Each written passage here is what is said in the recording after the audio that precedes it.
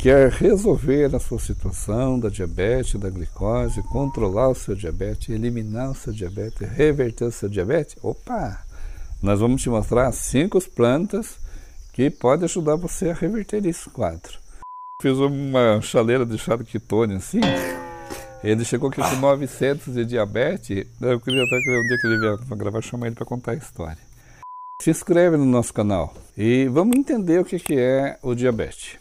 O diabetes ele tem dois fatores. Tem um diabetes que vem por fatores genéticos, né, que a gente herda do pai, da mãe, do avô, da avó. E tem um outro diabetes que é causado pelas tensões emocionais, o estresse, o medo, a insegurança é, nesse momento de, de, de muito estresse e cansaço, a gente consegue é, desequilibrar os nossos índices de glicose e muitas vezes aparece o diabetes. Ah, muito importante você entender que o processo de cura natural ele envolve, em primeiro lugar, o eu quero, eu posso e eu consigo, tá? É, todo mundo que ouve a palavra diabetes entra em desespero porque parece que acabou a vida. Não é verdade é, eu quero resolver esse problema. Todo mundo que está com diabetes fala, mas será que tem jeito? Eu posso resolver esse problema. Mas será que eu consigo? Eu consigo. Então é possível reverter o seu caso do diabetes. Eu sou o Paulo das Ervas, trabalho com as ervas medicinais desde 1989 né? Faz 33 anos já aí que eu estou na caminhada, trabalhando, acompanhando, vendo as pessoas que aderiram ao processo de cura natural, de busca de saúde nas forças e nas fontes da natureza e tenho larga experiência para poder orientar você nesse tratamento, tá? É, como tudo depende do eu quero, eu posso e eu consigo, eu acho que você que está nos assistindo também deve inserir esse tripé aí de palavras no seu vocabulário. O que causou diabetes para você? Ah, porque eu comia muito doce. Ah, porque a minha mãe tinha diabetes. Ah, porque eu me estressei. Ah, porque eu fui assaltado. Ah, porque eu tive um prejuízo muito grande. São todos esses fatores que geram um, um diabetes na gente. Então, o que, que a gente tem que aprender em primeiro lugar? Olhar com serenidade para as coisas da vida. É, por mais estressante, mais cansativo, mais assustador, mais aterrorizante que seja o momento que você esteja vivendo, você tem que olhar para isso com uma certa tranquilidade. E aí você vai compreender o que está ocorrendo no seu organismo. Então, nós vamos falar aqui de cinco plantas que podem reverter o diabetes. Eu vou falar primeiramente de uma planta que é reconhecida mundialmente no tratamento do diabetes, que é a pata de vaca. Ela está com algumas folhinhas é, furadas aqui, ó, mas é porque ela tem esses espinhos também. Então lá na árvore, na natureza, a hora que o vento toca, ela rasga, arranha, corta, né? E se machuca. Claro que tem alguns é, insetos também que comem partículas dessa planta. Como que você entra numa floresta que você nunca entrou e sabe que uma planta pode ser usada para um fim medicinal, para um fim terapêutico? Um dos principais observadores, né, da natureza, é a primeira coisa que ele percebe se o bicho comeu. E aí a gente caboclo fala assim: se o bicho comeu, você pode comer. Se o bicho comeu a planta, você pode comer ela também. Então, é uma coisa assim, muito bacana isso daí. A pata de vaca, ela é reconhecida mundialmente no tratamento do diabetes. Eu falo tratamento do diabetes porque é uma forma de controlar, porque a nossa glicose ela é oscilante, tá? No nosso organismo, assim como o nosso colesterol é oscilante, a nossa pressão é oscilante. Tudo oscila, não tem assim 12 por 8. Ela é 12 por 8, mas ela pode baixar um pouquinho, ela pode subir um pouquinho, né? E o diabetes, mesma coisa. É entre 70 e 100, a glicose está num padrão de normalidade. Porém, ela pode baixar um pouquinho, ela pode subir um pouquinho e manter esse nível. Então, você tem que estar tá vendo é, as curvas, né? Da, da glicose, como que ela está reagindo no seu organismo. E a pata de vaca, ela consegue né, as plantas que eu vou mostrar aqui, elas conseguem é, equilibrar esses fatores. Porém, Claro que alguns cuidados é importante, né? Você não pode abusar de massa, você não pode abusar de, de, de gordura, você não pode abusar de excesso de açúcar, né? Não pode abusar, não deve abusar. Refrigerante, entendeu? Mesmo aqueles chamados refrigerante diet lá, eles são adoçados, né? Mesmo os produtos dietéticos têm uma certa quantidade de açúcar. Então tem coisas que a gente tem que mudar os nossos hábitos alimentares, porque a gente tem que olhar para a gente e ver o que é que nos faz bem. Você tomou todos esses cuidados, corrigiu sua alimentação, mastigou bem seus alimentos, não esperou ficar com extrema fome para comer, tá? Porque a gente acaba é, na correria do dia a dia, almoça meio-dia, vai jantar 9 horas da noite, ou nem vai jantar mais, né? E aí a gente fica com o estômago totalmente vazio depois que é encher depósito, né? Então a gente tem que evitar de ficar muito tempo sem ingerir alguma coisa. É, então, você pega essa folhinha da pata de vaca. Eu estou pegando aqui, as duas folhinhas estão na minha mão, tá? Já foram lavadas lá antes de chegar aqui. Você pega essa folhinha, corta ela, né? Rasga. Ah, que coisa simples, né, seu Paulo? Mas pode rasgar, pode cortar, ah, pode cortar com a tesourinha também, né? Tá bom? Aí você coloca isso num copo e vai aprender a fazer o chuchá. Verte aqui a água que está fervida, tá? Essa água está quente. Põe essa tampinha bonitinha. Pode ser pratinho cor-de-rosa também, tá? Não precisa ser azul. Porque as pessoas vão falar, ah, só tem pratinho cor-de-rosa. Né? Pode ser o pratinho que você tiver. Deixa ela aqui reservada 10 minutos. E nesses 10 minutos, a água quente vai puxar a parte essencial da folha da pata de vaca que você vai usar no seu chá. É, esse chá você toma ele preferencialmente três vezes por dia com a planta in natura. Se você pegar a planta é, desidratada, você vai tomar depois do almoço e depois da janta. Evita mau humor, tá? O mau humor é um grande aliado do diabetes. A excesso de reclamação da vida é um grande aliado do diabetes. Então você tem que olhar para a vida com mais alegria. Legal? Gostou da ideia, né? É uma dica fantástica que você tem que ser alegre, você tem que ser feliz, você tem que brincar, você tem que respeitar as pessoas que estão do seu lado, você tem que ter um relacionamento afável com as outras pessoas,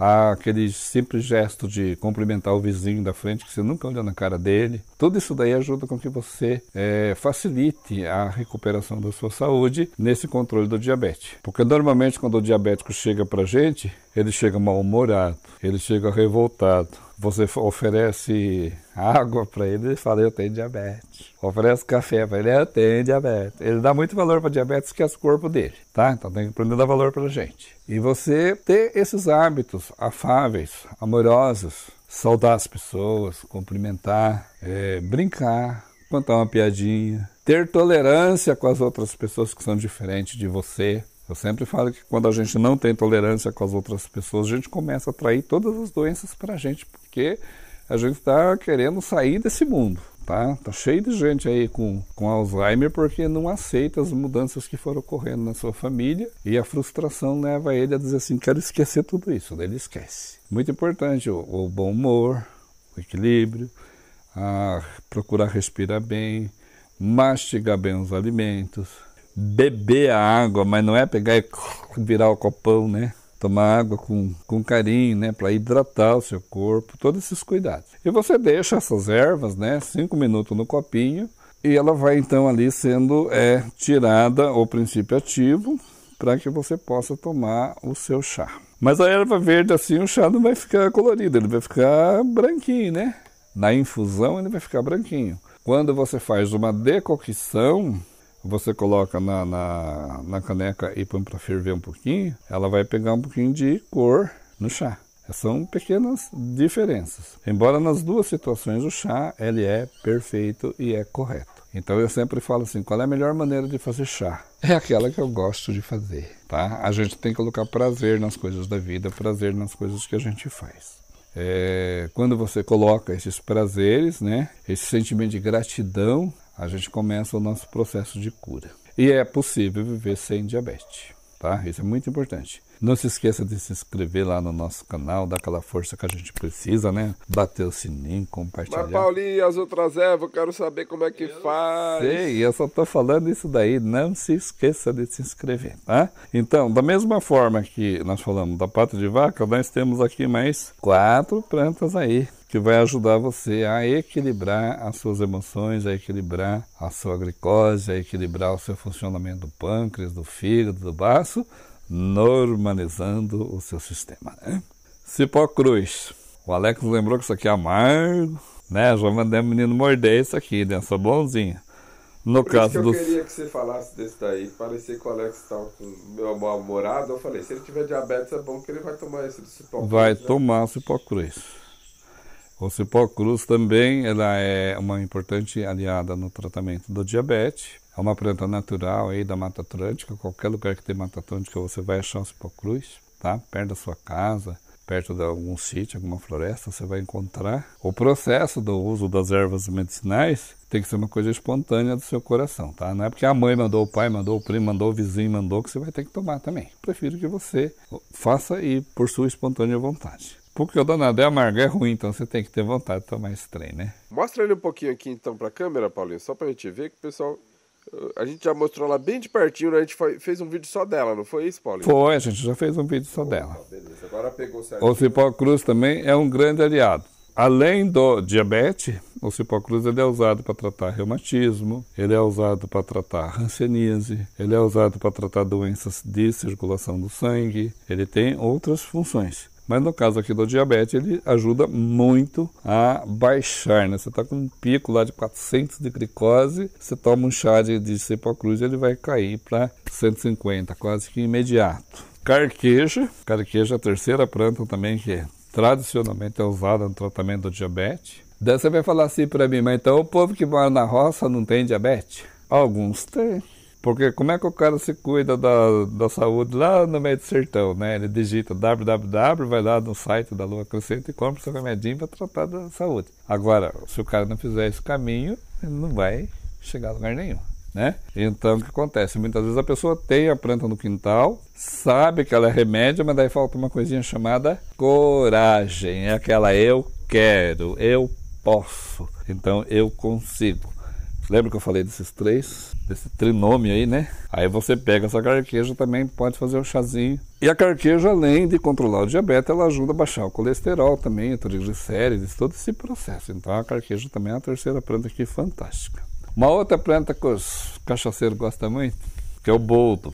O chá do boldo, o suco do boldo também é um excelente aliado aí no tratamento do diabetes. Mas eu não estou trazendo novidade nenhuma, estou falando de planta que todo mundo já falou. Exatamente. Essas plantas estão na natureza. Como cada pessoa fala, como cada pessoa usa. É, eu só queria dizer para você que está nos vendo que eu cuido da minha saúde com as plantas medicinais. Eu tenho 33 anos que eu cuido da minha saúde com plantas medicinais. A minha vida se deve às plantas medicinais. E é essa experiência de vida que eu estou tentando passar para vocês, tá bom? É o grande legado que o Paulo das Ervas vai deixar aí no, na biblioteca do YouTube para o futuro, né? E a quinta planta é famosa, quitônia, né? Que todo mundo fala pra mim, mas ela é tóxica. Gente, tudo que você come demais em exagero faz mal. A quitônia, se você for fazer o suco da quitônia, você pega duas folhas dessa aqui, ó, bate no liquidificador com um litro de água e toma, não é amarga não é tóxico. Ela controla a glândula da tireoide. A glândula da tireoide é a grande responsável pelas nossas emoções. Como tem o diabetes que é causado pelas nossas emoções, pelo estresse, pelo cansaço mental, então essa quitônia ela vai também colaborar com você aí no tratamento da diabetes. Enquanto a gente vai se falando, vai se falando, vai se falando, né? Tagarela pra caramba. E os outros chá, Paulinho, como é que faz? Os outros chazinhos é feito da mesma forma. Ela não ficou muda nada. Um verdezinho. Não, tem um ligeiro verdezinho aqui que você Mas não muda nada a forma de fazer os outros chá?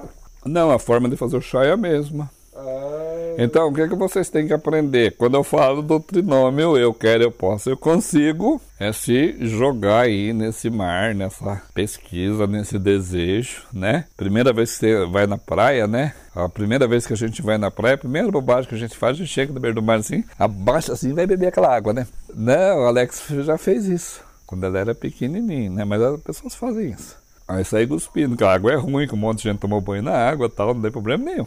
Mas a gente faz essa experiência. Daí a gente pula uma onda, né? Depois pula outra. Depois a gente tá surfando. Daqui a pouco a gente tá atravessando até chegar na ilha do outro lado. O chazinho é a mesma coisa. Entendeu? Eu fiz o chazinho com a pata de vaca, mas eu poderia ter feito com qualquer uma dessas outras plantas. O processo é o mesmo, o poder curativo é o mesmo e os benefícios são maravilhosos. Não se esqueça de se inscrever no nosso canal, dar aquela força pro canal, divulgar, bater o sininho, compartilhar, chamar a vizinhança para assistir, põe no grupo do WhatsApp, manda o filme para todo mundo ver. Paga para dar like, Paulinho.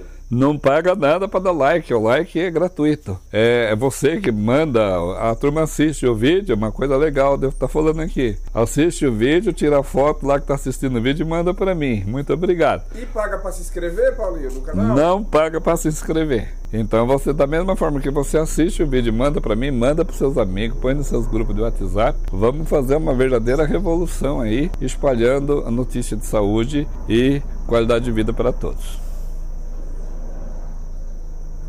Porque o danado é amargo, é ruim, então você tem que ter vontade de tomar esse trem, né? Mas não é amargo, não.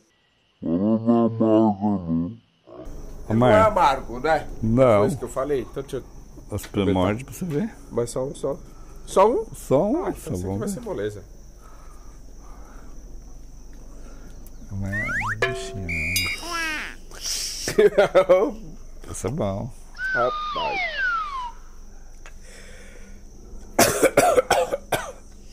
Ele precisa ficar com ele na boca. É. E a Kitone é mais ainda. Kitone é mais amarga. Ah, agora você já, vai, já perdeu o controle do doce. Será que vai? Vai, com certeza. O padre Muito Cícero. Pequeno. O padre Cícero fez uma chaleira de chá de quitone assim. Ele chegou aqui com 900 de diabetes. Eu queria até que o dia que ele vier para gravar, chamar ele para contar a história. E eu fui sentando, enchendo o copão e ele bebendo, enchendo o copão e ele bebendo, enchendo o copão e ele bebendo. Ele foi embora para Mogi, foi medir, estava 120. Ele fala nas missas dele assim, tome, chá, que tome. Mas é amargo aquele negócio. É, mas é aquilo lá resolve.